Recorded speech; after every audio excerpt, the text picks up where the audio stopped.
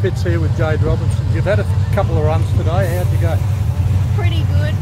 We're just trying to get lots of data in the left-hand lane today. But we just ran close to a PB in that last one, so hopefully go out and do another one.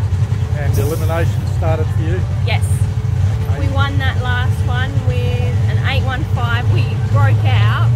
We dialed in an 820 and an 815. But um, we were racing Brad Baker and he broke out as well. So we, we won. Have a good night and Thank you. hopefully you come out on top. Yes, thank you. Thanks, Jayde.